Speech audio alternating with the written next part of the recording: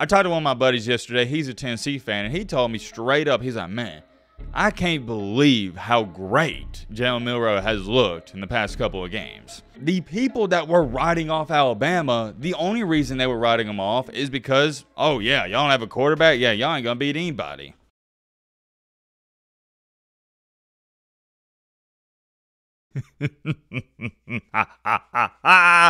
This is bad news. And I mean, it's some very bad news for the rest of the country. If you're an Alabama fan, this is good news. And the reason I know it's bad news for the rest of the country and all the other teams out there is because their fans have told me they're straight up scared. I'm not going to throw their names out there, they know who they are, but I got a couple buddies that are Tennessee and Georgia fans, and I'm going to tell you what they had to say about this in just a second. But first things first, let me say this. We're not doing no intro, none of that. We're getting straight into it, and I hope each and every single one of you, you have a great Friday. Hope you had a great week. If not, hope this video can make it a little bit better. Today's a great day. You know why it's a great day? Well, nothing actually for the day itself. It just means we're one day closer to the day we all love the most, Saturday. I don't care what anybody says. If you're a college football fan, nothing, let me repeat that word, Nothing can compare to a Saturday where you wake up at 7, 8 a.m., watch a little bit of TV, cook you a nice breakfast, maybe you go out a little bit, then you watch football from 11 a.m. till 2 a.m. the following morning. Nothing can compare. And I think the perfect day would actually be to wake up Saturday morning, and I've done this a couple times, at about 6 a.m. and get you a nice 18 holes in of golf and then watch college football all day. That's my dream day. I'm getting a little sidetracked here. You get the point. We're one day closer to the day we all love the most. And you've probably noticed all throughout this week on the channel, we haven't talked about Alabama football too much. And there's a good reason for that. Because although we haven't been talking about them, or at least I haven't been talking about them, I've been listening to what everybody else has to say. I've been paying attention, jotting down some notes, and just seeing an outsider perspective. And from every single person I've heard talk about this Alabama team, it goes either one or two ways. Way number one is you get some people saying, man, this Alabama team, they're coming off that big win against A&M. They're just getting better and better and better every single week, and I don't see them losing another game on their schedule. And the other way people are talking about this Alabama team, ironically enough, is they're not talking. Sometimes no response is a response. It's like when somebody texts me something stupid or they ask me a question and I don't respond, and either A, they call me or I see them in person and they're like, oh yeah, did you get my text? Did you see it? And I say, yeah, I saw it. And they say, oh, well, you didn't respond. And I say the same thing every time. No, me not responding, that's a response. Applying that analogy to this situation is the same exact thing with Jalen Milroe and Alabama. Have you noticed this week all those Jalen Milroe doubters and critics and all the Alabama doubters and critics? They haven't said a single word. They've gone back into hibernation. They're like, oh man, I thought this was going to be the year we could put Alabama on blast, but Guess we're going to have to wait until next year, maybe. And by the way, I hate to be the bear bad news, but Alabama's going to be better next year than they are this year. But that's a completely different conversation for a different day. That's something we'll talk about in the offseason. But getting back on track here, these haters and critics and people not saying anything is because they're shocked. They don't know what to say. Because they saw a Texas team go into Bryant Denny Stadium, which is rare. The last time Alabama lost at home was in 2019 and they saw a Texas team not just beat Alabama, but they, they beat them handily by double digits. You can't make it up. And I understand doubting this Alabama team and not saying they're as good as they used to be, but the stuff people were saying, talking about Alabama's going to go 8 and 4, they might go 7 and 5, that was ludicrous and ridiculous. And I'll be the first person to tell you this. We even made a video about this. Yes, I do think this is the beginning of the end to the fall off of the Alabama dynasty. But do you understand what I mean when I say the beginning of the end? In dynasties, you have stages. For example, Nick Saban's been at Alabama for what, 15 years? The first five years Saban was there, that was the beginning of the dynasty. The next five to six years, you could say from 2011 to 2017, that's when the dynasty's in its prime. Then from 2017, 2018 to I guess you'd say 2022 or 2023, yeah, the dynasty's not falling off, but it's past the prime stage. And fast forward in time to now, it's 2023, and yeah, I think the dynasty only has about five to six years left. So, theoretically speaking, we're at the beginning of the end. And my reasoning for that is fairly simple. Nick Saban only has about five, six, seven, at max eight years left. But I gotta clarify this, and I've done it time after time, but I guess people misinterpret it.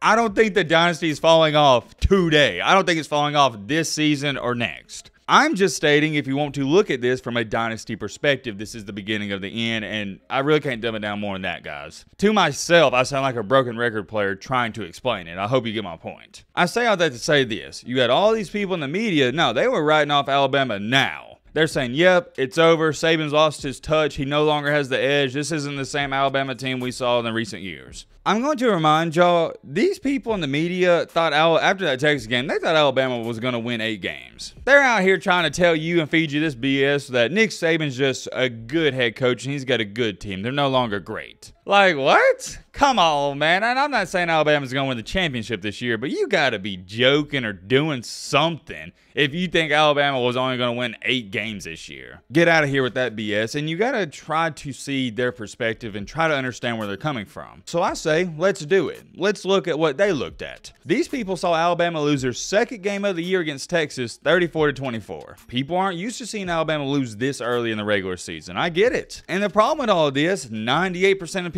out here that aren't Bama fans, they have what I like to call quote unquote Bama fatigue. They're not just sick and tired, they are beyond, they are far past sick and tired of seeing Alabama dominate this sport. So when somebody has Bama fatigue, as soon as they ha- even have a slither of a chance to throw Alabama to the fire and throw Nick Saban to the fire, that's what they're going to do. People out in here can't stand Alabama. They're ready for them to be gone. They hate it, man. They absolutely hate it. They're ready to see some new faces. And people thought after this Texas game, this was going to be the year you could throw Alabama to the fire because they don't have a good quarterback. And then we watched them against USF. That was a complete mess. We've already talked all about that. And that even encouraged people even more. They was like, oh, yeah, this is it. It's wraps. It's done. So wait until Nick Saban gets an SEC play. And well, well, well, here we are couple weeks later, and all Nick Saban and Alabama has done is go 3 and 0. They're now sitting in an extremely pretty situation at 5 and 1 in which they control their own destiny. I don't want to sit up here and say the Texas game didn't matter, but on the grand scheme of things, it didn't matter. It's a relatively simple game plan. If Alabama wins out, they're in. If they lose another game, they're not in. But we're getting a little too far ahead of ourselves. Here's what has scared people, and this is coming from some people I've talked to.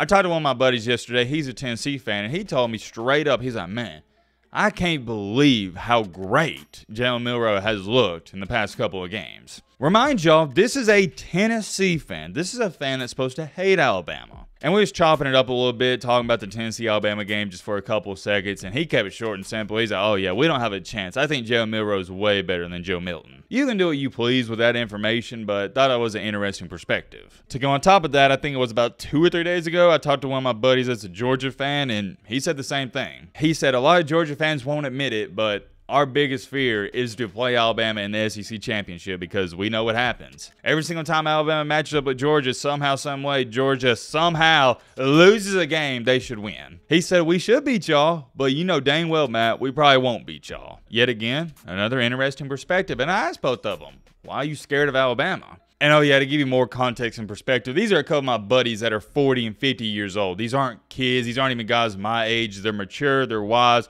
They know their stuff. And they both told me pretty much the same answer. Alabama's clicking. They're finding their groove, and Jalen Milroe's just getting better and better and better and more comfortable. And one of them even told me if Jalen Milroe's playing the way he did against Texas A&M, I don't know who could beat Bama. And when I listened to what they had to say about Alabama and Jalen Milroe, I was like, yep, that makes a lot of sense. The people that were writing off Alabama, the only reason they were writing them off is because, oh yeah, y'all don't have a quarterback? Yeah, y'all ain't gonna beat anybody. Well, what has happened is in the past couple of weeks, these people out here, the outsiders, they have seen Jalen Milroe progress and get better and better and better every single week. And it's scaring people because everybody with a brain knows if Alabama has good, and it doesn't even got to be great. If you just have good quarterback play, with all the talent they have surrounding the quarterback, they can beat anybody. Let's take a look at these numbers. Against Ole Miss, Jalen Milroe was 17 for 21, only had four incompletions, 225 passing yards, one touchdown to one interception. That'll get the job done. Yeah, he had one interception, but I can overlook it because he's going to make plays. You got to understand with Jalen Milroe, heading into the game, you just got to mark down one interception. He's going to have one. Next week against Mississippi State, on the road, 10 for 12, 164 yards, zero touchdowns, zero nine T's, but he had three rushing touchdowns. He was killer on the ground. Did what he needed to do. The following week, on the road, yet again, 21 for 33. That'll get the job done. 321 passing yards, three touchdowns to one INT. But what's most impressive about all this, and it's not going to show up on the stat sheet, is Milroe diced A&M through the air in the long passing game. He wasn't just throwing dump offs to wide receivers like Jaylen Waddle or DeVonta Smith and letting them run it for 75 yards. No, no, no, no, no. Check out this stat. Jalen Milroe had six passes of 20 yards or more against Texas A&M. Six. When it comes to short and mid accuracy, he's not the best. But when it comes to deep ball accuracy, he might be the best in the SEC. And that's what impressed me because I can't even remember the last time I saw an Alabama quarterback throwing that many deep passes on the money. And if he can do that, I don't see anybody beating Alabama. And you also got to throw in there, he beat A&M by himself. Alabama only had 23 rushing yards. That does concern me as a Bama fan. We got to fix the running game because Milroe needs help. Every quarterback needs help, but good gosh almighty, Milroe didn't even need help against A&M. He did it himself. If he keeps this up and what I've seen in the past couple of weeks, I think we need to change the conversation and flip the narrative. Because previously it was, okay, we just need Milroe to not mess up and don't have any turnovers. But now I think the conversation should be, Jalen Milroe can beat you himself if you don't prepare for him. Is that crazy of me to say? He dominated Ole Miss in the second half. He dominated Mississippi State from start to finish, and he completely destroyed A&M from start to finish. This Alabama team, and not just Jalen Milroe, but the offensive line, I didn't even speak on them. We'll talk about them in a different video. The entire team, offensive line, everybody, they're getting better and better and better every single week, and that's scary. You know why it's scary? Because Nick Saban is one of those guys who can catch lightning in a bottle. Make no mistakes about it. This isn't even close to an average Alabama team for him, but with his coaching abilities, he can catch lightning in a bottle. I'll leave it at that. Do what you want with that information. I'm very curious. Let me know your thoughts down below, but uh,